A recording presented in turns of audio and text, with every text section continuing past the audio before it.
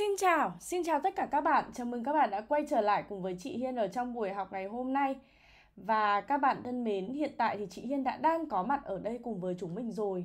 Không biết là bây giờ thì các bạn đã có thể lên và tham gia cùng với chị ở trong buổi học ngày hôm nay hay là chưa? Nhưng mà chị cực kỳ hy vọng là các bạn đã có thể có mặt ở đây cùng với chị để chị em mình có thể cùng với nhau trao đổi về những cái kiến thức à, đối với việc viết nghị luận xã hội ở trong buổi học ngày hôm nay cùng với chị nhé. Không biết là bây giờ thì các em đã có mặt ở đây chưa nào? À chúng mình ơi, chúng ta sẽ cùng đợi nhau một chút xíu để xem là các bạn đã có thể có mặt ở đây cùng với chị chưa nhá. Ok không ạ? Xin chào, xin chào tất cả các em. Các em đã có mặt ở đây chưa ạ? Và các bạn ơi, ngày hôm nay thì đã là buổi học thứ ba trong tiến trình 4 buổi mà chị sẽ đi cùng với các bạn, đúng không ạ? Hiện tại thì chị cũng đã thấy là các bạn cũng đã vào học khá là đông rồi và không để chúng mình phải chờ đợi lâu thêm nữa thì có lẽ là bây giờ chúng ta sẽ cùng bắt đầu buổi học ngày hôm nay nhé. Các bạn ơi, các bạn có xem được không ạ? Chúng mình ơi, chúng mình sẽ đổi thiết bị giúp chị nhé. À, ờ, từ hôm bắt đầu phát đến giờ thì học bằng lab ý, nó sẽ hơi lát đấy. Thế nên thành ra là các bạn có thể là các bạn sẽ để ý là chúng mình sẽ đổi sang thiết bị điện thoại thì nó sẽ tốt hơn đấy. Thì đây là một cái lời khuyên cho chúng mình nhá. Được không nào? Các bạn xem bằng điện thoại thì sẽ tốt hơn đấy. Còn lại xem bằng lát thì nó sẽ hơi lát một chút xíu. Nha. Ok chưa nào? À rồi ạ. À, Xin chào Xin chào chúng mình. Xin chào các em. Ok không ạ? À? rồi ạ. À. Các bạn ơi Vậy thì bây giờ có lẽ là chúng mình sẽ cùng à, bắt đầu buổi ngày hôm nay luôn nhá. Ok không ạ? Các bạn chú ý là chúng mình sẽ đổi thiết bị à, Sang à, laptop. À chị xin lỗi Sang à, điện thoại thì sẽ tốt hơn đấy. Ok chưa nào? Các bạn ơi, chú ý giúp chị Hiên nhá. Và bây giờ thì chúng mình sẽ cùng bắt đầu được không ạ? Chị xin chào Bình này, chị xin chào uh, Chi này. Ồ, điện thoại em cũng bị lag à, thế thì chắc là phải kiểm tra lại đường truyền rồi. Bởi vì hiện tại thì chị xem mọi thứ đang khá là ổn. Thì em sẽ điều tiết lại xem sao giúp chị Hiên nha. Ok không ạ? À, và bây giờ thì chúng mình sẽ cùng bắt đầu buổi học ngày hôm nay cùng với chị. Các em ơi, các em đã sẵn sàng chưa nào? Ngày hôm nay các bạn vào nhanh ghê đó.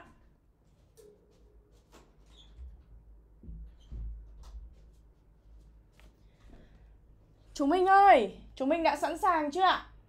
Các bạn đã sẵn sàng chưa ạ? À, chúng mình sẽ cùng bắt đầu luôn nha. Ngay và luôn nha.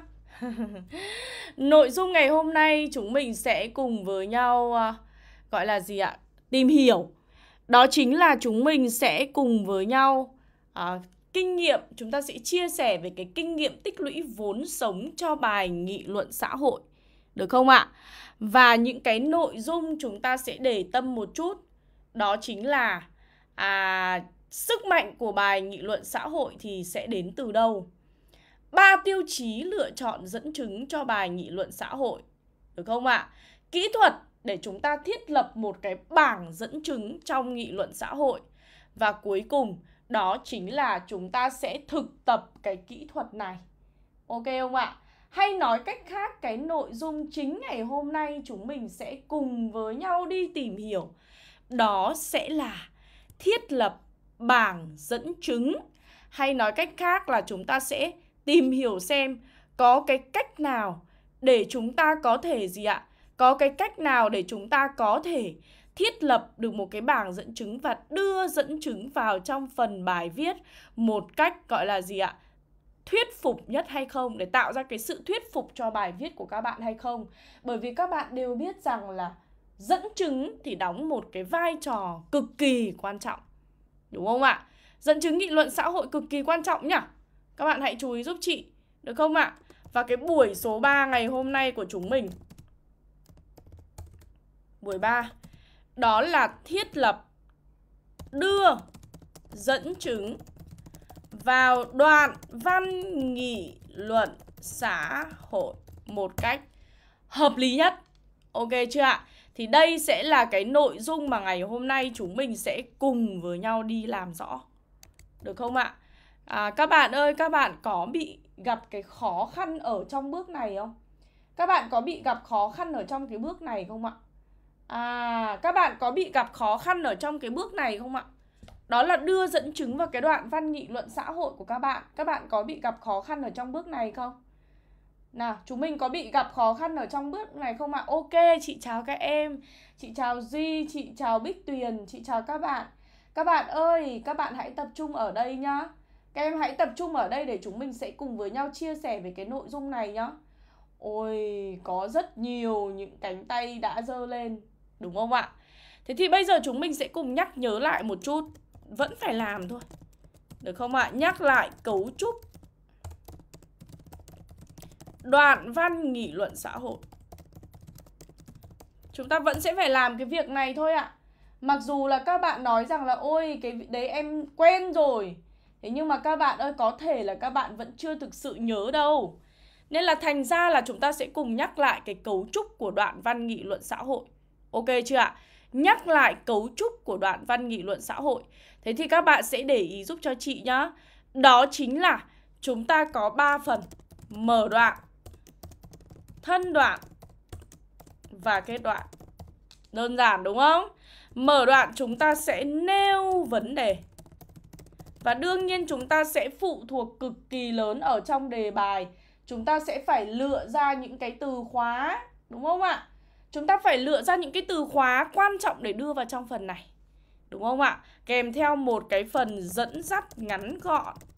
Và đương nhiên cái phần dẫn dắt ngắn gọn này có thể triển khai bằng các cái ý tưởng mà chị đã nêu ra cùng với các em. Ok chưa nào? Tiếp theo là ở thân đoạn. Thì chúng ta sẽ làm gì nhỉ? Giải thích này. Ok chưa ạ? Gì nữa ạ? Chúng ta giải thích này. Chúng ta phân tích bàn luận này. Đúng không? Chúng ta chứng minh này. Đúng không ạ? Chúng ta à mở rộng vấn đề này. Chúng ta liên hệ bản thân này. Phải không nào? Liên hệ bản thân, đúng không ạ? Và cuối cùng kết đoạn thì sẽ gửi gắm một cái thông điệp có giá trị, thông điệp có ý nghĩa. Thế thì các bạn sẽ chú ý giúp cho chị nhá. Đó chính là gì ạ? Các bạn sẽ chú ý giúp cho chị đó chính là cái thao tác chứng minh này này chính là cái thao tác mà chúng ta sẽ đề cập trọng tâm ở trong buổi ngày hôm nay. Chúng ta thấy rằng là dân gian thì có câu đúng không ạ? Chúng ta vẫn thường nói là nói có sách mách có chứng. Nếu như mà chúng ta có được những cái dẫn chứng đưa vào trong phần bài viết của các bạn thì rõ ràng nó sẽ tạo ra một cái sức thuyết phục rất lớn cho bài viết của các em. Đúng không ạ? Phải không nào? Đây, đúng chưa ạ? Sẽ tạo ra một cái sức thuyết phục rất là lớn cho phần bài viết của các em. Đúng không ạ? Bởi vì chứng minh thì sẽ đi kèm với dẫn chứng. Và hãy luôn luôn nhớ giúp chị rằng dẫn chứng ở đây phải là người thật, việc thật, số liệu thật. Các bạn nhá. Thế nên là có một số trường hợp các bạn bảo chị thế này. Chị ơi, bây giờ em viết nghị luận xã hội nhưng mà em kiểu như là em không có gọi là gì ạ? Nêu được cụ thể. Về tức là em không có nhớ được cái số liệu cụ thể ấy, thì em có thể làm thế nào? Tức là em có thể bịa được dẫn chứng không? Thì chị mới bảo các bạn rằng là đừng làm cái điều đó. Bởi vì là nó thực sự là một cái sự đánh liều của các bạn cho cái phần bài làm của các bạn ở thời điểm hiện tại đấy. Các bạn ơi người đang chấm những phần bài viết của các bạn là thầy cô giáo của các bạn mà. Đúng không ạ? Và chúng ta đâu phải là chúng ta viết những cái phần bài viết cho cho những người bạn của chúng ta đâu, mà thậm chí là những người bạn của chúng ta cũng là những người cực kỳ có hiểu biết, đúng không ạ? Thế nên là cái việc ấy, các bạn gọi là bịa dẫn chứng ấy, nó lộ liễu lắm.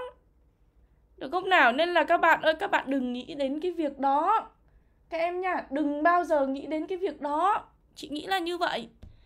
Hãy tích lũy cho mình vốn sống vốn kiến thức, dẫn chứng để làm gì ạ?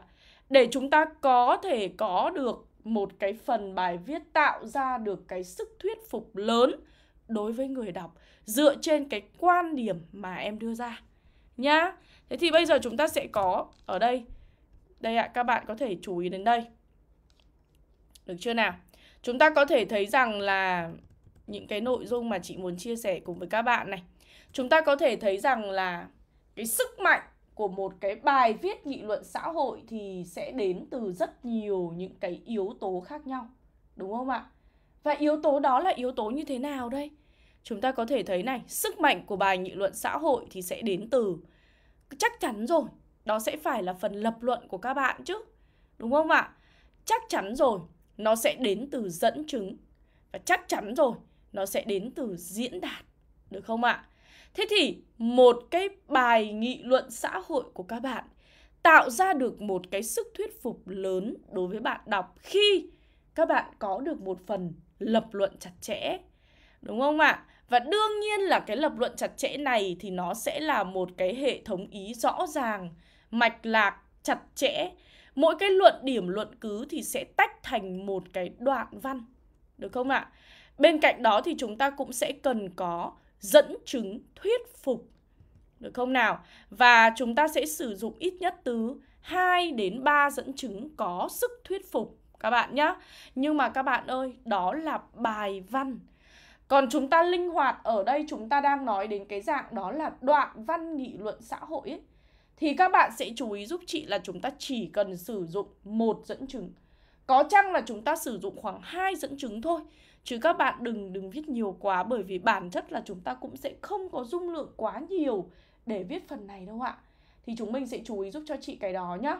Ok chưa nào? À được không ạ? Các bạn sẽ sẽ chú ý giúp cho chị cái đó nhá. Và thêm một cái phần nữa, đương nhiên rồi, chúng ta sẽ cần một cái diễn đạt trong sáng. Được không ạ? Đó là câu văn phải kết hợp giữa những câu ngắn, câu dài, kết hợp giữa cảm xúc và trí tuệ. Hay nói cách khác là cái phần bài viết của chúng ta là phải vừa có lý và phải vừa có tình đây ạ. Thì sức mạnh của một bài nghị luận xã hội sẽ đến từ những cái yếu tố như thế này. À thế nên các bạn, khi mà các bạn muốn viết một cái bài nghị luận xã hội thuyết phục, thì các bạn cũng sẽ chú ý tới những cái vấn đề này nhá. Vậy nên chị nói với các em rằng là ngày hôm nay, chị đang chia sẻ với các bạn về một trong những cái yếu tố cực kỳ quan trọng để tạo ra cái sức thuyết phục cho phần bài nghị luận xã hội đó chính là dẫn chứng. Chúng ta không bao giờ được phép quên dẫn chứng. Khi mà chấm bài cho các em thì chị thấy rằng là một trong những cái điều mà khiến cho chị cảm thấy rất là áp lực, đó là các bạn thường xuyên không đưa ra dẫn chứng trong phần bài viết của các bạn, mà chỉ dùng tất cả những cái lập luận đơn thuần của các bạn để nêu ra cái quan điểm của các bạn và bảo vệ cho cái quan điểm đó thôi. Và điều đó khiến cho bài viết của các em thiếu đi cái sự thuyết phục rất là nhiều. Được không nào? Và các bạn sẽ chú ý giúp cho chị là như vậy nhá. Ok chưa ạ? Hãy chú ý là chúng ta thực sự cần dẫn chứng trong phần bài viết của chúng mình. Được không nào? Các em ơi, ngày hôm nay giọng chị khác à? Tại thấy bạn à, Quang Định bạn ấy đang bảo là nay giọng cô hơi khác á. Chị vẫn thế mà. giọng chị khác à? Các bạn có thấy giọng chị khác không? Rồi ạ. À. Thì ở đây các bạn sẽ chú ý này. Chúng ta sẽ cùng đến với phần đó là đưa dẫn chứng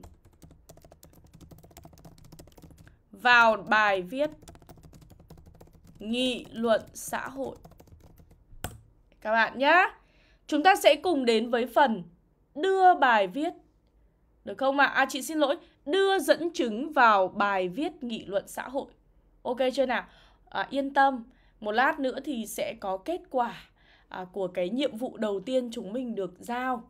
À, nên là chắc chắn là sẽ có những có bạn nhận được những cái món quà được không ạ? Chúng mình sẽ nhận được những cái món quà giống như chị Hiên đã hứa. Và rất hy vọng rằng là những bạn mà à, được tặng miễn phí khóa học 10 ngày này, Sẽ có một bạn may mắn được tặng miễn phí khóa học 10 ngày này. Và sẽ có hai bạn được tặng cuốn sổ tay chinh phục nghị luận xã hội này. À, rất hy vọng là các em sẽ yêu thích nhá. Rất hy vọng là các bạn sẽ yêu thích cái à, những cái món quà mà chị dành tặng đến chúng mình và các em ơi hãy nhớ nhá là chúng mình sẽ chỉ còn ngày hôm nay và ngày mai để nhận cái ưu đãi ghép nhóm đối với khóa học 10 ngày. Và các em có biết không ạ, chúng ta thực sự đã đến rất gần với cái buổi khai giảng của khóa học 10 ngày. Để ở đó chị Hiên có thể chia sẻ với các bạn cực kỳ nhiều kiến thức để chúng ta chuẩn bị cho kỳ thi Trung học phổ thông quốc gia sắp tới. Vậy nên chị mong rằng nếu như các em đã biết tới khóa học này thì hãy trân trọng cơ hội để đăng ký khóa học này trong hôm nay và ngày mai để có thể nhận được những cái ưu đãi giống như chị đã nói nhá. Ok không ạ? Đây là một cái sự ưu ái riêng dành cho các bạn tham gia trong cái chiến dịch miễn phí của chúng mình. Thế nên chị cực kỳ mong là các bạn hãy dành thời gian để tìm hiểu về khóa học này và sau khi kết thúc chiến dịch này, chúng mình sẽ cùng với nhau khô máu và chiến đấu gọi là gì ạ? Thực sự là nỗ lực và cố gắng ở trong khóa học 10 ngày diễn ra vào đầu tháng 6 sắp tới nha. Bây giờ thì chúng mình sẽ cùng đến với phần hai la mã, đó là đưa dẫn chứng vào bài viết nghị luận xã hội. Đối với việc đưa dẫn chứng vào phần bài viết nghị luận xã hội thì thường chị Hiên sẽ xúc tiến theo hai bước. Bước 1. Đó là gì ạ? Bước 1. Bao giờ chị cũng sẽ tiến hành thiết lập bảng dẫn chứng. Được không ạ? Bao giờ chị cũng sẽ làm bước này. Bởi vì là chúng ta gì ạ? Chúng ta cần, chúng ta muốn đưa dẫn chứng vào thì chúng ta phải thiết lập cái bảng dẫn chứng, tức là chúng ta phải tích lũy dẫn chứng đã. Bởi vì nếu như mà bản chất các bạn không có dẫn chứng thì thì làm sao mà các bạn có thể đưa dẫn chứng vào phần bài viết của các em được? Đúng không? Thế nên là các bạn sẽ chú ý giúp cho chị là gì ạ? Là chúng ta sẽ cần trước tiên là thiết lập bảng dẫn chứng đã. Và bước số 2 là chúng ta sẽ đưa dẫn chứng vào bài viết. Ok chưa ạ? Đối với cái phần thiết lập bảng dẫn chứng ấy, thì chúng ta có thể thiết lập theo cái cấu trúc mà chị giới thiệu ở đây. Nhưng mà đương nhiên chúng ta cũng có thể tinh gọn. Cái phần dẫn chứng này sẽ cho một lần nữa khẳng định cho chúng ta thấy cái mối quan hệ rất là bền chặt giữa vốn sống và bài nghị luận xã hội. Bởi vì các bạn có thể thấy rằng là gì ạ? Rõ ràng là từ việc đọc chúng ta tiếp nhận không chỉ là đọc mà còn là nghe, đúng không ạ? Không chỉ là đọc mà còn là nghe thì chúng ta có thể thấy rằng là từ cái việc đọc, việc nghe, việc nhìn sẽ giúp cho chúng ta có được một cái vốn sống và chúng ta sẽ tích lũy cái vốn sống đó bằng việc đọc báo này, sách này, sau đó chúng ta ghi chú thông tin lại. Và chúng ta sẽ gì ạ? À, chúng ta sẽ sử dụng những cái đó để chúng ta có thể viết bài để chúng ta huy động dẫn chứng và lựa chọn dẫn chứng. Các bạn phải có kiến thức thì các bạn mới lựa chọn mới mới gì ạ? Mới có cái để lựa chọn chứ. Các em hiểu chị không ạ? Bây giờ về bản chất các bạn không có kiến thức thì làm sao các bạn có dẫn chứng để lựa chọn? Đúng không? Thế nên là hãy nhớ rằng là thật ra đấy như cái buổi đầu tiên chị hiên có chia sẻ cùng với chúng mình thì uh, nghị luận xã hội thật ra là một cái phần bài viết mà rất là gần với cuộc sống của chúng ta. Nó nói về những vấn đề thường trực liên quan tới con người và xã hội. À, đối với những cái bài về tư tưởng đạo lý hay là về hiện tượng đời sống thì đều có một cái mục đích cuối cùng là để chúng ta nhìn sâu hơn vào hiện thực đời sống phát hiện ra những vấn đề soi chiếu lại chính bản thân mình đưa ra một quan điểm phù hợp từ đó gửi gắm một cái thông điệp có giá trị và ý nghĩa đến với mọi người xung quanh. Vậy nên các bạn hãy chú ý giúp chị rằng suy cho cùng, bài nghị luận xã hội là một cái phần bài văn cực kỳ gần gũi với cuộc đời mà các bạn có thể thấy là đó là lý do vì sao mà chúng ta cần một cái sự chân thành khi chúng ta viết một cái đoạn văn, một cái bài văn nghị luận xã hội chính là như vậy. Các bạn hãy chú ý giúp cho chị nhé. Thế thì theo các em thế nào là một dẫn chứng thuyết phục người đọc? Chúng ta phải có tiêu chí chứ. Thiết lập một cái bảng dẫn chứng thì chúng ta phải có tiêu chí chứ, đúng không? Ok không nào? Thiết lập một cái bảng dẫn chứng thì chúng ta phải có tiêu chí chứ. Vậy thì theo các em, thế nào là một dẫn chứng sẽ thuyết phục người đọc ạ? Theo các bạn thì thế nào là một dẫn chứng sẽ thuyết phục người đọc ạ? Nhật Anh ơi, em muốn ghép nhóm thì một lát nữa em có thể chủ động đăng bài để tìm các bạn ghép nhóm cùng để đăng ký khóa học 10 ngày và nhận ưu đãi. Hoặc là em có thể nhắn cho chú Văn học để được hỗ trợ nhé. Chị nhắc lại là chỉ còn hôm nay và ngày mai là chúng ta sẽ chính thức kết thúc cái ưu đãi khi các em đăng ký khóa học 10 ngày. Và khóa học 10 ngày chính là cơ hội cuối cùng để các em cùng với chị bứt phá trong giai đoạn cuối với một cái mục tiêu là chúng ta sẽ đạt 8 cộng văn, 9 cộng văn như đúng cái kỳ vọng mà các bạn đã đưa ra. Để đạt được kỳ vọng đó thì chúng ta phải có gì ạ? Thì chúng ta phải có kiến thức. Được không nào? Để đạt được kỳ vọng đó thì chúng ta phải có kiến thức. Ok chưa nào? Nếu như chúng ta không có kiến thức thì chúng ta sẽ không thể nào đạt được số điểm cao, đấy là chắc chắn. Bên cạnh kiến thức thì chúng ta phải có kỹ năng. Và đây sẽ là hai cái vấn đề chị làm cùng với các bạn ở trong khóa học 10 ngày này. Ok chưa ạ? Chị đã ghim link cho em rồi đấy Nhật Anh nhá. Rồi, dẫn chứng phải mới, đầy đủ và ngắn gọn. Ok. Chị đưa ra 3 tiêu chí để lựa chọn dẫn chứng cho bài nghị luận xã hội của các bạn. Đó chính là dẫn chứng đó phải đúng nha. Đây là yếu tố đầu tiên. Đúng. Được không ạ? Đúng đề tài, đúng lúc và đúng chỗ. Đó, ok chưa nào? Thứ hai là phải đắt. Thật ra là chị thấy ở đây các bạn cũng nêu ra khá là đúng về cái tiêu chí rồi đấy. Chị thấy các em đã nêu ra khá là đúng về cái tiêu chí rồi đấy. Đó là đắt. Đắt ở đây có nghĩa là nó phải tiêu biểu và dẫn chứng đó phải có sức thuyết phục cao. Ok chưa ạ? Và cái tiếp theo ở đây đó chính là dẫn chứng đó phải mới. Đúng không ạ? Mới ở đây có nghĩa là gì ạ? Nó phải có tính thời sự và nó phải được nhiều người quan tâm. Đó. Ok chưa nào? Thế thì các bạn sẽ chú ý giúp cho chị là như vậy. Nhá. Các bạn sẽ chú ý giúp cho chị là như vậy. Đúng, đắt và mới. Được chưa? Đúng ở đây là đúng đề tài, đúng lúc, đúng chỗ. Đắt ở đây là phải tiêu biểu và dẫn chứng có sức thuyết phục cao. Mới ở đây là phải có tính thời sự và phải có nhiều gì ạ? Nhận được cái sự quan tâm. Thế thì các bạn có thể thấy rằng là nếu như nói về phân loại dẫn chứng thì chị Hiên bao giờ cũng sẽ chia cho các bạn thành hai cái loại dẫn chứng. Đó là gì ạ? Dẫn chứng mang tính chất kinh điển.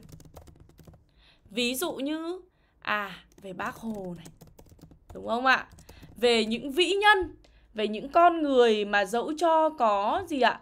À, có rất nhiều những năm tháng trôi qua đi chăng nữa đúng không ạ thì họ vẫn luôn luôn là những cái con người ví dụ như Thomas Edison với những cái sáng tạo của họ với những cái cống hiến của họ họ vẫn luôn luôn là một cái tượng đài để cho chúng ta có thể soi chiếu vào đấy đúng không nào thế thì chúng ta đều thấy rằng là chúng ta uh, chúng ta đều thấy rằng là những cái dẫn chứng kiểu như vậy á thì sẽ là những cái dẫn chứng mà các bạn thường đánh giá là nó cũ và nó dễ gây nhàm chán. Đúng không? Các bạn có công nhận với chị không? Các bạn mới bảo là trong tức là các em hay bảo thế này, đấy là có bí quá thì mình mới sử dụng những cái dẫn chứng về Bác Hồ.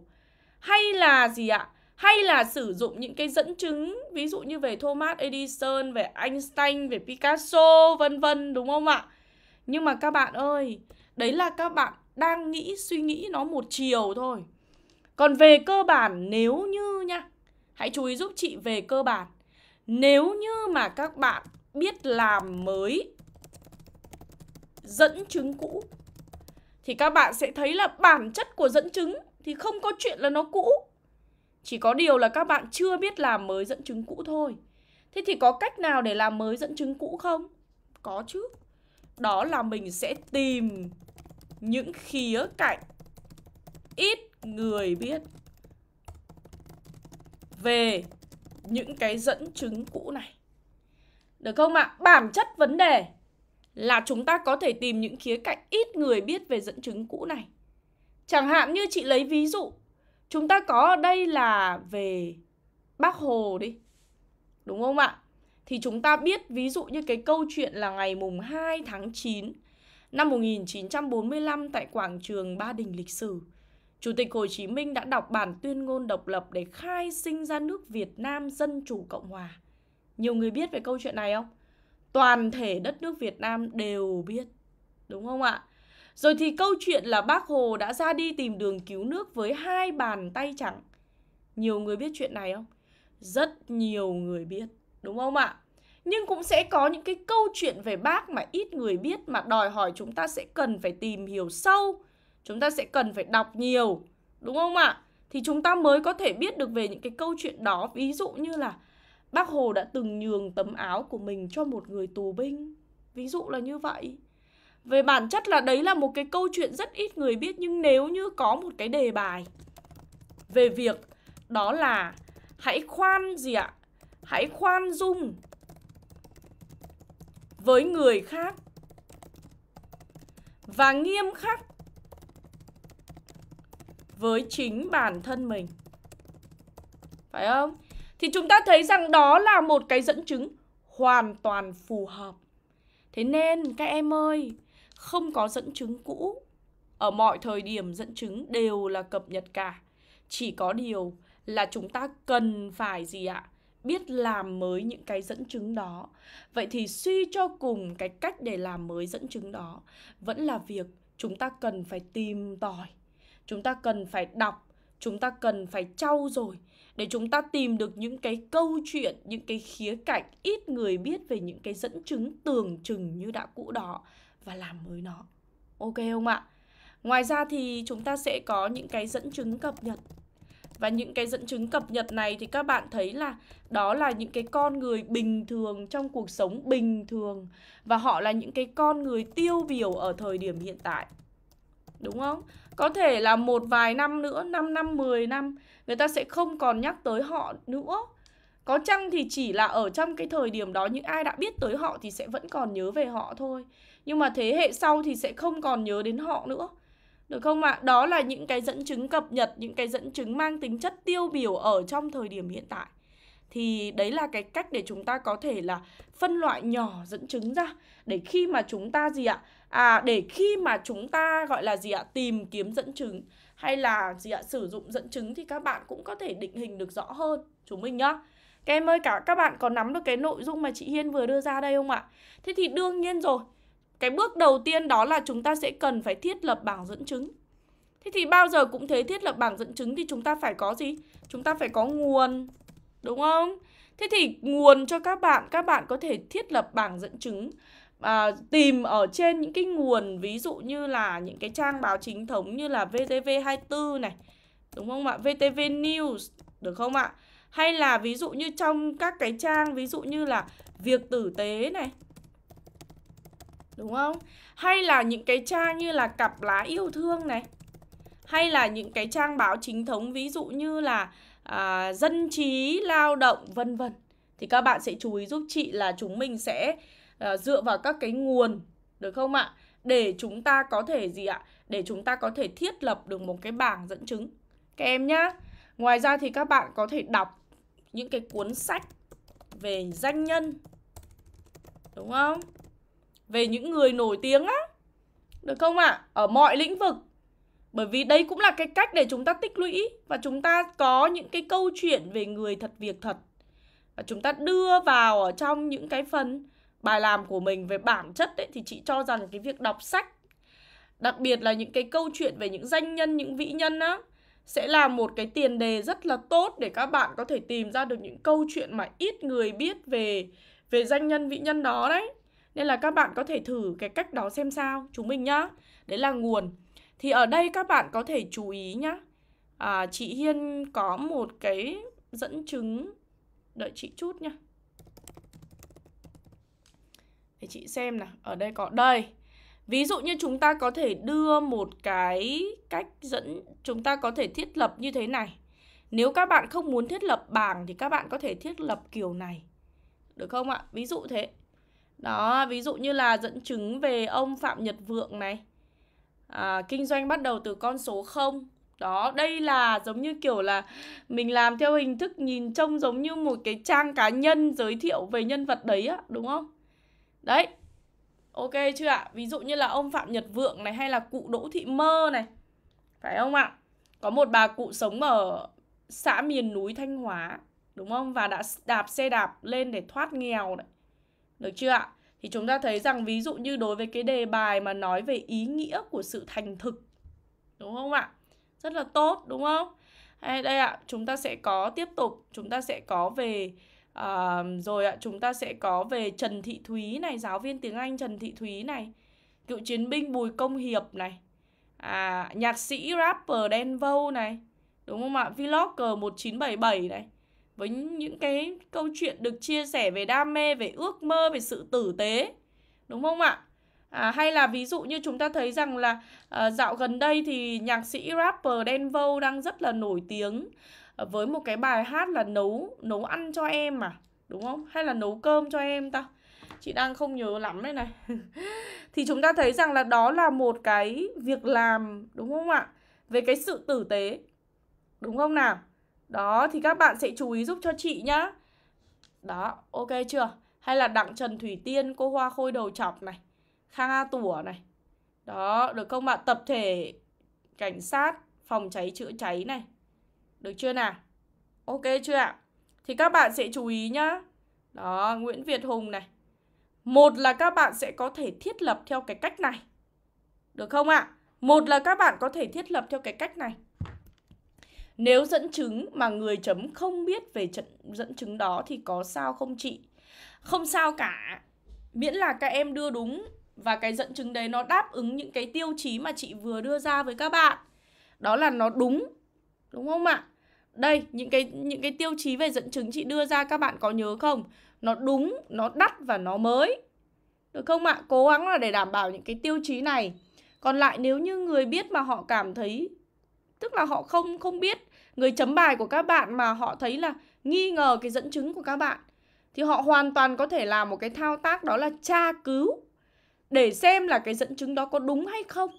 Và chỉ cần cái dẫn chứng đó gì ạ là có thực và cái số liệu các bạn đưa ra là thực thì các bạn không có gì phải e ngại và sợ về cái điều đấy cả.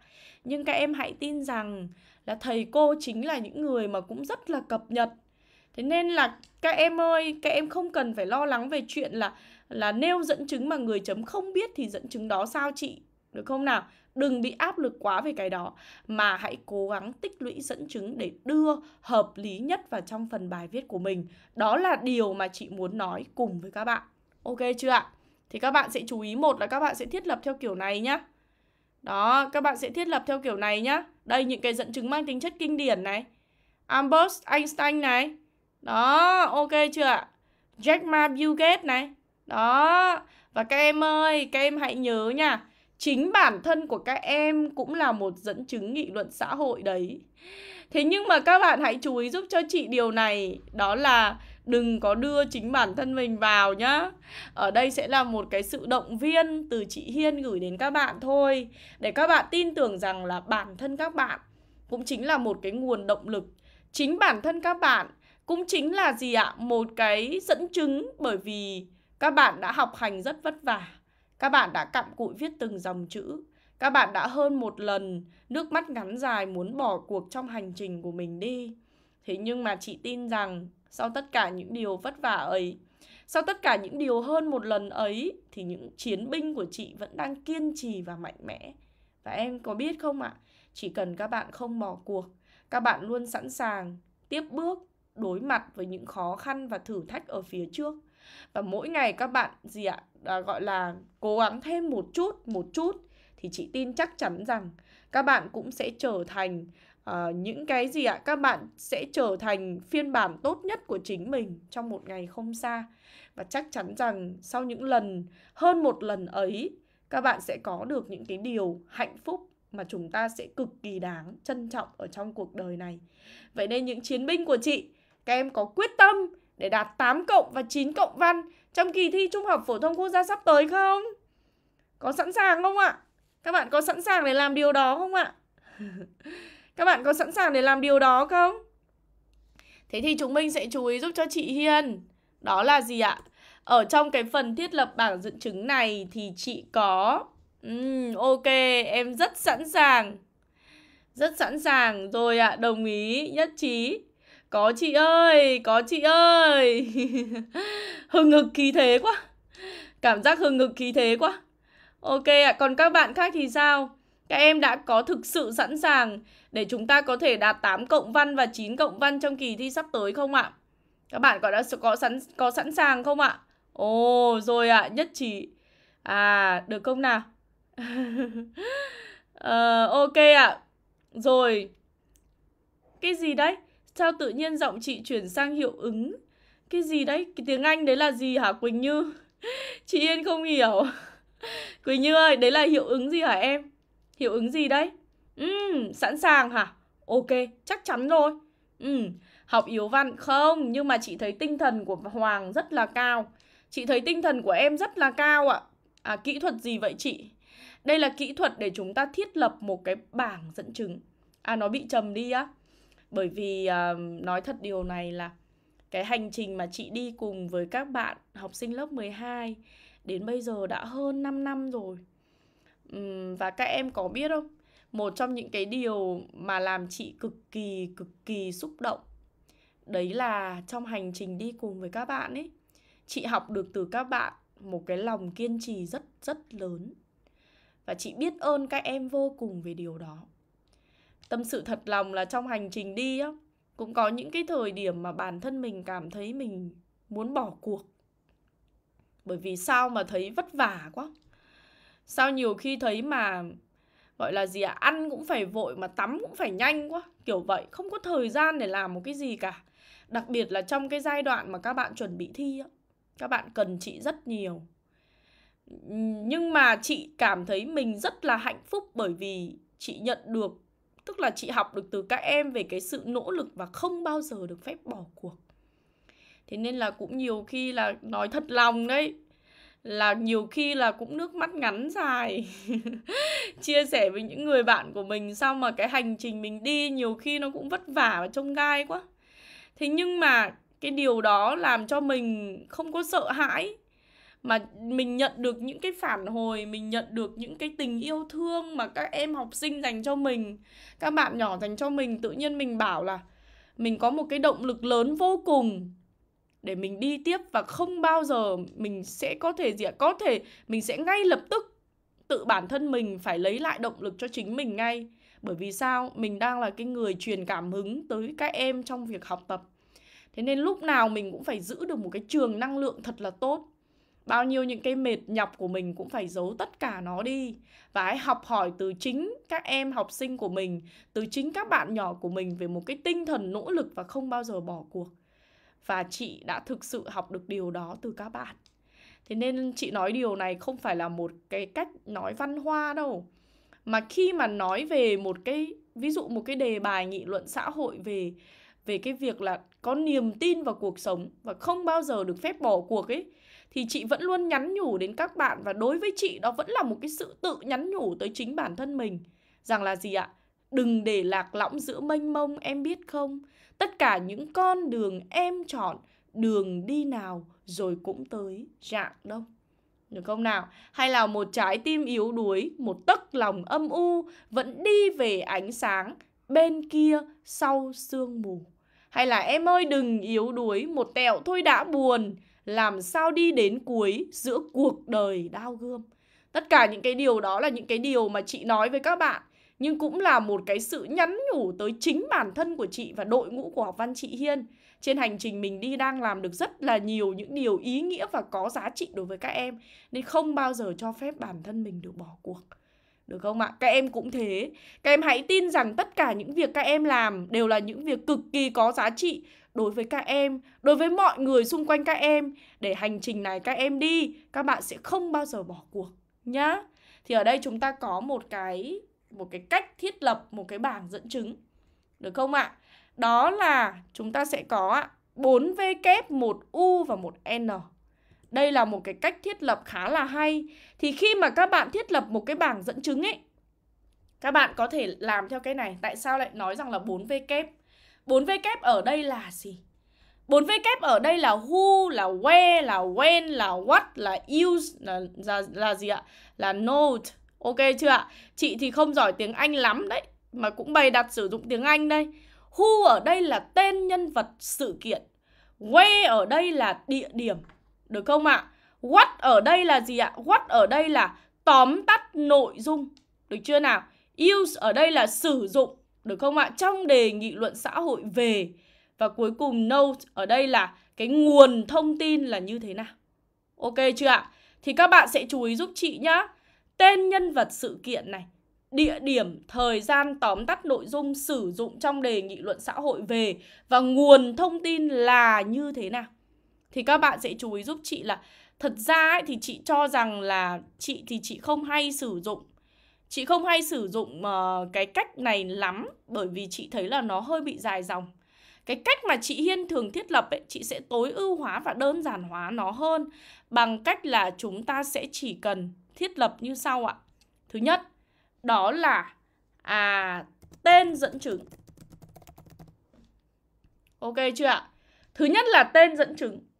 Thứ hai là nội dung dẫn chứng. Và thứ ba là sử dụng cho đề tài nào. Đó, được không ạ? Thường là chị sẽ lựa chọn cách thiết lập này. Chứ chị sẽ không lựa chọn cái cách thiết lập đó là chúng ta gì ạ? Đó là chúng ta sẽ phải làm gọi là chị nghĩ là cái cách này nó hơi bị dài dòng mà chúng ta không cần phải sử dụng đến như thế. Đó thì các bạn sẽ thấy là đấy chúng ta có thể tìm được rất nhiều dẫn chứng nhá. Được không ạ? Các bạn có thể tìm thấy rất nhiều dẫn chứng. Ok chưa nào? Ví dụ như ở đây chúng ta sẽ có về dẫn chứng anh Trần Hữu Hiệp. Đúng không? Sinh năm 1988 là con út trong gia đình. Được không nào? Làm việc tại công ty sản xuất ống thép dầu khí Tiền Giang. Đó, được không ạ? Và cái chúng ta có một cái dẫn chứng ở đây chúng ta thiết lập. Đó là gì ạ? Đó là chàng trai dũng cảm nhường sự sống cho người khác trên con tàu đắm. Địa điểm xảy ra là ở sông Xoài Rạp, xã Long Hòa, Cần Giờ, thành phố Hồ Chí Minh. Vào năm 2023 hai năm 2013, được không ạ? Đã xảy ra vụ chìm tàu chở 30 người trên sông Cần Giờ ở thành phố Hồ Chí Minh. Trong 9 người chết đuối có anh Trần Hữu Hiệp, là người anh hùng đã cứu sống 5 người khác ở trên tàu. Và anh Trần Hữu Hiệp đã đưa áo phao cho một người phụ nữ mang thai, đồng thời đưa 5 người vào bờ, bám thành gì ạ? Bám thành cano để chờ cứu hộ tới và vì đuối sức thế nên anh ấy đã gì ạ? Hy sinh khi cứu hộ chưa kịp tới. Và chúng ta có thể sử dụng nó cho gì ạ? Sử dụng cái dẫn chứng này cho những cái đề tài về lòng nhân ái, tình yêu thương trong cuộc sống con người. Có thể sử dụng về lòng can đảm, sự hy sinh, đúng không ạ? Đó thì các bạn có thể thấy ở đây nhé. Từ cái việc mà chị đưa ra một cái dẫn chứng cho các em, Thì các em có thể nhìn thấy rằng là gì ạ? À thì ra là một dẫn chứng Nhưng mà khi chúng ta nhìn ở trên các cái góc độ khác nhau, thì các bạn hoàn toàn có thể sử dụng cho nhiều đề bài khác nhau. Đúng không? Một dẫn chứng nhưng chúng ta có thể sử dụng cho nhiều đề bài khác nhau. Đúng không ạ? Đặc biệt là chúng ta thấy rằng là dẫn chứng về bác á, là một trong số những dẫn chứng mà hầu hết các đề bài về tư tưởng đạo lý các bạn đều có thể sử dụng được. Các em có thừa nhận với chị là như vậy không ạ? Ví dụ như là ví dụ dẫn chứng về bác Hồ, những câu chuyện về bác, những đề bài ví dụ như về lòng kiên trì có không? Đúng không ạ? Về sự nỗ lực có không? Đúng không ạ? Rồi thì về gì ạ? Về đức tính giản dị có không? Về sự khiêm tốn có không? Được không ạ? Hay là gì ạ? Về uh, lý tưởng sống có không? Tất cả các đề bài hầu hết chúng ta đều có thể nếu trong trường hợp mà các bạn lúc đấy không thể nào huy động được cái về không thể huy động được về gì ạ à, các bạn không thể huy động được về cái dẫn chứng thì các bạn hoàn toàn có thể chủ động à, đưa ra những câu chuyện về người nhưng mà đương nhiên là cái việc đưa ra những câu chuyện về người là phải đúng nhá về bác là phải đúng nhá dẫn chứng là phải đúng được không ạ? À? Chứ không phải là các bạn cứ nghĩ rằng là chúng ta cứ thích viết gì chúng ta viết và không ai biết được rằng chúng ta viết đúng hay viết sai đâu. Thầy cô hoàn toàn biết đấy ạ. Thế nên là các bạn ơi, điểm thấp điểm cao là cũng phân định cực kỳ rõ ràng đấy. Các bạn sẽ chú ý giúp chị là như vậy. Thì các bạn cũng sẽ chủ động thiết lập cái bảng dẫn chứng dựa theo cái hướng mà chị đưa ra ở đây cùng với chúng mình nhá. Còn bạn nào mà chưa có được bảng dẫn chứng muốn xin thì chị Hiên sẽ cân nhắc để đăng cho các em hoặc nhắn tin về fanpage học văn chị Hiên đi. Xem là admin có bảng dẫn chứng nào không thì sẽ gửi cho các bạn tham khảo nhá. Rồi ok ạ. À. Sau đấy thì chúng ta sẽ phải làm cái bước 2, hôm nay nội dung dài quá.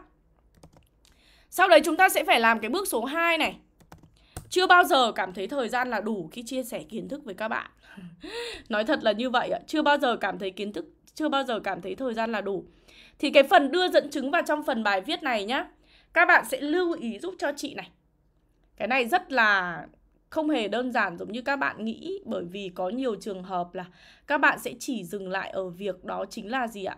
Các bạn sẽ chỉ dừng, thường dừng lại ở việc đó là các em sẽ chỉ nêu dẫn chứng thôi. Nhưng nếu như chỉ dừng lại ở việc các bạn nêu dẫn chứng thôi thì là chưa đủ đâu ạ. Nhá. Nếu chỉ dừng lại ở việc các bạn nêu dẫn chứng thôi thì là chưa đủ. Các bạn sẽ phải chú ý giúp cho chị đó là gì ạ?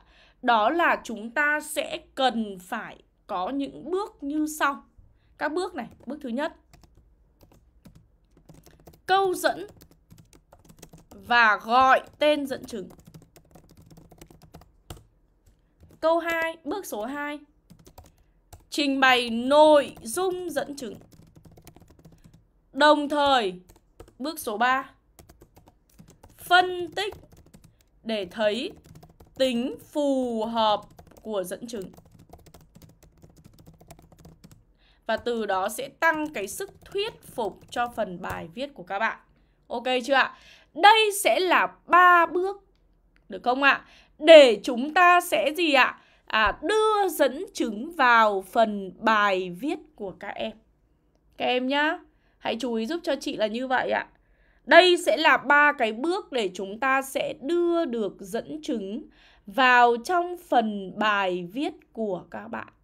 Được không nào? Thì các em sẽ hết sức lưu ý giúp cho chị nhé. Các bạn sẽ hết sức lưu ý giúp cho chị. Bây giờ thì chúng mình sẽ cùng với nhau à thử một cái gọi là ví dụ nhá. Chúng mình sẽ cùng với nhau thử một cái ví dụ để xem là các bạn sẽ thấy được cái điều gì ở đây ạ. Nhá, để xem là chúng mình sẽ thấy được cái điều gì ở đây. Thế thì bây giờ chúng ta sẽ có một một cái ví dụ như sau. À, chẳng hạn như đề bài của chúng mình là ý nghĩa của nghịch cảnh. Đúng không? Đối với ý nghĩa của nghịch cảnh trong cuộc sống. Ok không ạ? Ví dụ là như vậy đi. Ví dụ đề bài của chúng ta có ở đây là là ý nghĩa của nghịch cảnh trong cuộc sống đi. Đồng ý không ạ? Thế thì bây giờ chúng ta sẽ lựa chọn dẫn chứng nào là cái dẫn chứng mà phù hợp với đề bài này? Nào, theo các em nào. Theo các em thì đâu sẽ là cái dẫn chứng phù hợp với cái đề bài mà mà chị Hiên đưa ra ở đây ạ? Theo các bạn thì đâu sẽ là cái đề bài phù hợp? À chị xin lỗi, đâu sẽ là cái dẫn chứng phù hợp đối với cái đề bài mà chị Hiên đưa ra ở đây? Các bạn có thể đưa một vài dẫn chứng được không ạ? Các bạn có thể đưa một vài dẫn chứng cho chị Hiên thấy được không ạ? Nào, các bạn có thể đưa một vài dẫn chứng cho chị Hiên thấy không ạ? Đối với cái đề bài này. Theo các em. À, theo các bạn thì chúng ta à, chúng ta có thể đưa dẫn chứng nào vào? À, ok ạ. Ví dụ như là chúng ta có thể đưa dẫn chứng về Nick. Được không? Nick vui trích. Được không ạ? Nick vui trích. Đúng không? Đây là một cái gọi là tượng đài rồi. Về ý chí và nghị lực vươn lên trong cuộc sống. Đúng không ạ? Đây đã, trường như đã trở thành một cái tượng đài về ý chí, nghị lực vươn lên trong cuộc sống rồi. Đúng không ạ? Thế thì bây giờ không phải là chúng ta chỉ cần nói đến rằng là là Nick Vujicic là một dẫn chứng tiêu biểu cho cái gì ạ? Ý nghĩa của nghịch cảnh trong cuộc sống. Mỗi thế là xong dẫn chứng. Không phải là như thế là nêu dẫn chứng. Mà các bạn sẽ phải thực hiện làm đúng theo các bước mà chị vừa Hiên vừa hướng dẫn các bạn ở đây. Đó là chúng ta phải có câu dẫn và gọi tên dẫn chứng. Thế thì cái câu dẫn này chúng ta có thể triển khai ví dụ như là gì ạ? À, à chúng ta gì ạ? Câu chuyện về ai đó đã khiến tôi thêm một lần nữa như thế nào đó. Được không ạ? Hoặc là cái dẫn chứng gì đấy là gì ạ? Minh chứng tiêu biểu cho cái gì đó. Ok chưa ạ? Hay là nhắc tới vấn đề gì đó, thông điệp gì đó. Tôi nhớ về. Đó, được không ạ? Hay là cái vấn đề gì đó đã khiến tôi hay đã nhắc nhớ tôi về ai đó. Hay ví dụ, tôi vẫn luôn dành sự trân trọng và ngưỡng mộ cho ai đó. Đấy là những cái kiểu câu dẫn. Các bạn nhá, để chúng ta có thể ngay lập tức dẫn vào. Đúng rồi, các bạn nêu ra này, Cristiano Ronaldo cũng đúng này. Được không ạ? Messi cũng đúng này. Vợ chồng chú lính trì, Lệ Thu Ngọc Bảo cũng đúng này. Ok chưa ạ? Đó thì ở đây nhá, các bạn sẽ nêu ra ví dụ ở đây các bạn sẽ dùng cái câu dẫn đó chính là gì ạ? À bàn về ý nghĩa của nghịch cảnh. Được không ạ? Tôi nhớ tới câu chuyện về ai nhỉ? À, tôi nhớ tới câu chuyện về Nick vujic. Đó, được không? Kiểu như thế. Có nghĩa là chúng ta sẽ dùng một cái câu dẫn để chúng ta dẫn vào cái dẫn chứng đó đã. Các em nhé, hết sức chú ý giúp chị ạ. Sau khi dẫn xong rồi thì mình mới bắt đầu nêu ngắn gọn cái nội dung về dẫn chứng này. Không, dẫn chứng không nhất thiết phải là con người. Dẫn chứng có thể là một sự gọi là gì ạ? Một cái sự vật, một cái sự việc nhá. Được không nào? Không nhất thiết phải là con người nhưng bình thường sẽ là như vậy bởi vì sao? Các em đều biết rằng là thật ra chị thấy là dẫn chứng về về con người là hợp lý nhất. Bởi vì những cái vấn đề liên quan tới nghị luận xã hội ấy, khi mà chúng ta học cái khái niệm thì các bạn đều biết rằng là những cái vấn đề đó là những vấn đề liên quan tới con người và xã hội. Thế nên chị thì chị cho rằng là những cái dẫn chứng mà tạo ra cái sự thuyết phục nhất bởi vì nó là vấn đề liên quan tới con người và xã hội Thế nên chắc chắn chúng ta cũng nên lấy những cái dẫn chứng về con người Thì sẽ tạo ra một cái sức thuyết phục lớn cho phần bài viết của chúng ta được không ạ? Chuyện bình thường mà, đúng không ạ? Nó là cái nó là cái gì ạ? Nó là cái lý lẽ bình thường thôi Ok chưa nào? Sau đấy thì mình sẽ bắt đầu nêu ra Đúng không ạ? À, sinh ra với khiếm khuyết cơ thể khi không có chân cũng không có tay được không ạ đây thực sự đúng không? Là một nghịch cảnh. Một thử thách mà Nick phải đối diện. Mà Nick phải đối diện. Đúng không ạ? Mà Nick phải đối diện. Thế nhưng, được không ạ? Thế nhưng, thử thách ấy chưa bao giờ khuất phục anh. Được không ạ?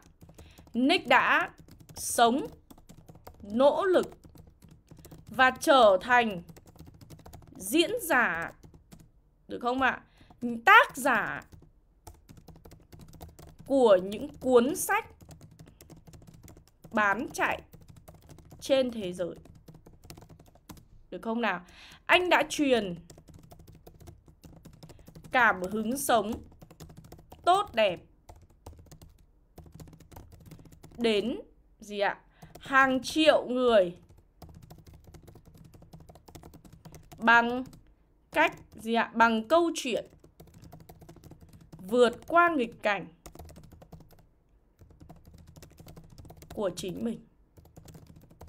Đó, ok chưa ạ? Ở trên là tôi đã vừa phân tích gì ạ? Ở trên là tôi đã vừa phân tích toàn bộ những cái uh, vấn đề về việc là đúng nghịch cảnh mang một cái ý nghĩa lớn lao trong cuộc sống của mỗi con người, đúng không? Thì ở đây tôi nêu ra một cái dẫn chứng bàn về ý nghĩa của nghịch cảnh. Tôi nhớ tới câu chuyện về Nick Vujicic, sinh ra với khiếm khuyết cơ thể khi không có chân cũng không có tay. Đây thực sự là một nghịch cảnh, một thử thách. Ở trên này sợ lặp thì có thể nói là đây là một cái thử thách khó khăn mà Nick phải đối diện. Thế nhưng thử thách ấy chưa bao giờ khuất phục anh Nick đã biến nó trở thành động lực Đúng không ạ? Nick đã biến nó trở thành Động lực Và anh ấy đã sống Đúng không ạ? Đã cố gắng Và sau đó đã trở thành một diễn giả, trở thành tác giả của những bán đầu sách bán chạy trên thế giới. Và bên cạnh đấy thì anh ấy cũng đã truyền cảm hứng sống tốt đẹp nhá đến hàng triệu người bằng cái câu chuyện vượt qua nghịch cảnh của chính mình được không ạ? Và sau đấy thì chúng ta sẽ có một cái câu chốt để phân tích bàn luận để thấy được tính phù hợp được không ạ? Từ câu chuyện của Nick chúng ta hiểu thêm và tin tưởng Đúng không ạ? Chúng ta hiểu thêm về ý nghĩa của nghịch cảnh và cuối cùng một lát nữa liên hệ bản thân xong đưa ra Nghịch cảnh không phải là thềm đá cản lối bước chân bạn, Nghịch cảnh là thềm đá nâng bước bạn cao hơn Ok chưa ạ? Các bạn ơi Thật ra thì chị còn muốn chia sẻ với các em nhiều hơn nữa cơ Bởi vì cái cái cái đưa dẫn chứng vào bài viết này Bản chất nó dễ thì cũng rất dễ Mà khó thì cũng rất khó. Nhưng mà bởi vì chị không có đủ thời gian. Bây giờ cũng là 6 giờ và các bạn cũng cần phải lên trường rồi Thành ra là chị Hiên vẫn gì ạ? Chị Hiên vẫn sẽ hẹn các bạn ở trong gì? Chị Hiên vẫn sẽ hẹn các bạn ở trong uh, một ừ, cái buổi học ở trong khóa học 10 ngày. Em ơi hiện tại chị Hiên đang để phông chữ 16 các em ạ. Nó là một cái phông chữ rất to thế nên thành ra các bạn nhìn thấy thì các bạn cảm thấy là gì ạ các em cảm thấy là nó dài thôi Được không ạ? Về bản chất là chúng ta đưa vào trong phần bài viết của mình với một cái phần dẫn chứng như thế này thì chúng ta cũng chỉ viết trong khoảng tầm 5 dòng thôi. Tầm tầm đó. Thì đấy là một cái định lượng vừa đủ. Hoặc nếu không thì chúng ta sẽ lại phải tiết chế nữa Có nghĩa là chúng ta sẽ lại cần phải đọc lại Để sàng lọc để chúng ta bỏ bớt những cái không cần thiết đi được chưa nào? Thì chị cũng đã nói rằng là khi mà chúng ta viết cái phần này á, Thì bao giờ cũng vậy cái dung lượng mà chúng ta viết cho cái phần dẫn chứng này Nó sẽ rơi vào từ 4 đến 5 dòng Tầm tầm đó ạ Được không nào? Bởi vì dẫn chứng cũng là một cái phần quan trọng mà Thế nên chúng ta sẽ dùng khoảng từ 4 đến 5 dòng Ok chưa ạ? Từng đấy em sợ viết 10 dòng á Vậy nếu không thì các bạn cứ làm gì ạ? Các em sẽ làm ngắn gọn nó đi Ví dụ các bạn sẽ có thể bỏ những cái như thế này Chị dạy các bạn cách nhá Nếu như các bạn cảm thấy quá dài Các bạn đọc lại để các bạn bỏ đi những cái không cần thiết Ví dụ Bàn về ý nghĩa của nghịch cảnh Tôi nhớ tới câu chuyện của Nick Vujicic Câu này không thể bỏ Bởi vì nó là cái sự dẫn dắt Được không ạ? À, sinh ra với kiếm khuyết cơ thể khi không có chân Không có tay Được không ạ? À, cũng không có tay Đây thực sự là một thử thách mà Nick phải đối diện Được không ạ? Được chưa nào? Thế, thế nhưng nó chưa bao giờ thay thử thách ấy bằng nó Chưa bao giờ có thể khuất phục được anh Hoặc nếu không thì bỏ cái câu này đi Được chưa ạ? Bỏ câu này đi Phải đối diện Được không ạ? Viết luôn Nick đã biến nó trở thành động lực Được không ạ? Đã sống Được chưa? À, đã cố đã sống, cố gắng và trở thành diễn giả, tác giả của những đầu sách bán chạy trên thế giới. Được không nào? Anh truyền cảm hứng sống tốt đẹp đến hàng triệu người bằng câu chuyện vượt qua nghịch cảnh của chính mình. Được không ạ? Ví dụ là như thế. Và điều đó thay cái này. Được chưa? Thay cả cái cụm này. Đấy là cách mà chúng ta phải tự biết sửa bài cho chúng ta nữa. Ok chưa ạ? Đây xong các bạn các bạn cũng bỏ cái này đi. Được không ạ? Câu chuyện đó giúp chúng ta từ đó. Đó, thay cái cụm này bằng từ đó chúng ta sẽ hiểu thêm về ý nghĩa của nghịch cảnh. Đấy, bỏ đi, kiểu kiểu như vậy. Ok chưa nào?